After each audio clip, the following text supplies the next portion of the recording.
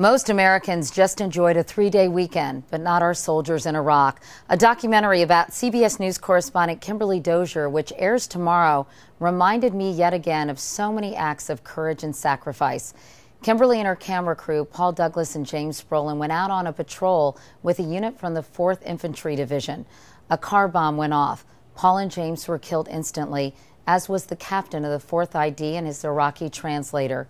Six of the soldiers were seriously wounded. Kimberly literally died on the table, but thanks to a slew of generous soldiers who donated their blood, she survived.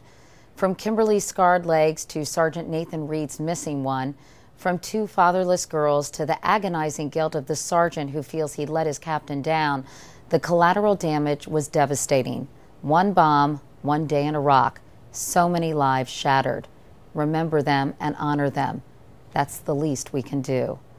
That's a page from my notebook. I'm Katie Couric, CBS News.